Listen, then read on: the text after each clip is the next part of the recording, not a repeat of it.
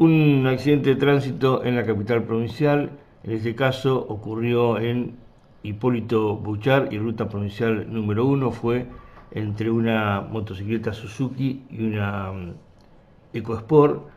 Eh, en ese semáforo se llevó a cabo este sinistro vial. En la moto, según dice el diario Noticias Net, se trasladaban dos personas, una de ellas era menor de edad, ambos fueron trasladados al hospital Pedro Sati para ser evaluados a raíz de el impacto y como muestran las imágenes fue bastante importante. Eh, trabajó allí el personal de seguridad vial eh, para llevar a cabo las tareas de rigor.